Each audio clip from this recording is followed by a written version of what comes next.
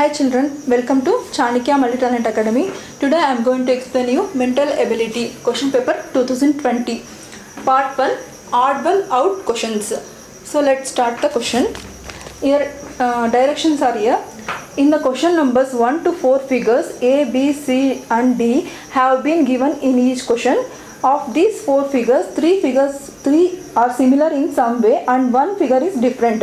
Select the figure which is different and write your answer only in English letters A, B, C and D. Uh, in the box against the number corresponding to the question in the answer sheet. Let's move on to the first question. The first in the first question there are four triangles here.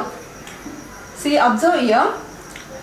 In the first question the first figure there is a right angle triangle and in the third figure and fourth figure also right angle but in the second figure this is a equilateral triangle.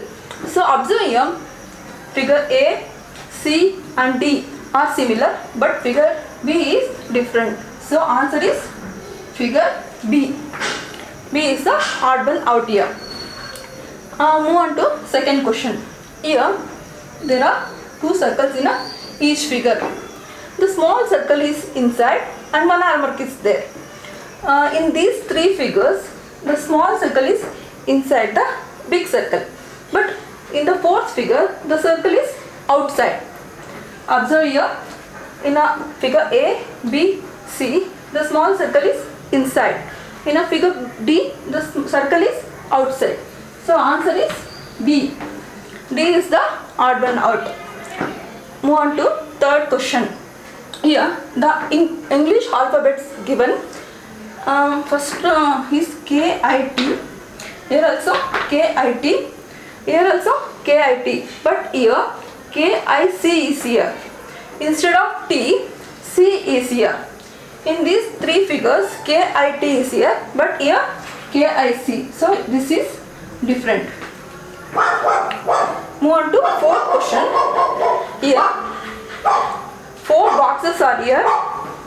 One diagonal cuts each box. But in the first uh, uh, figure small line cuts in the middle.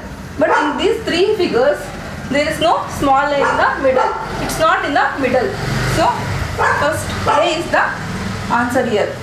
Like this way you have to solve the questions of odd one out. Please subscribe our channel to watch more videos.